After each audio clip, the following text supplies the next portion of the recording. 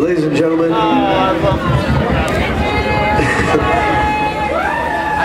we just want to say a special guest came with us tonight, all the way from LA, Zach Galifianakis on bass. Zach Galifianakis. Zach Galifianakis over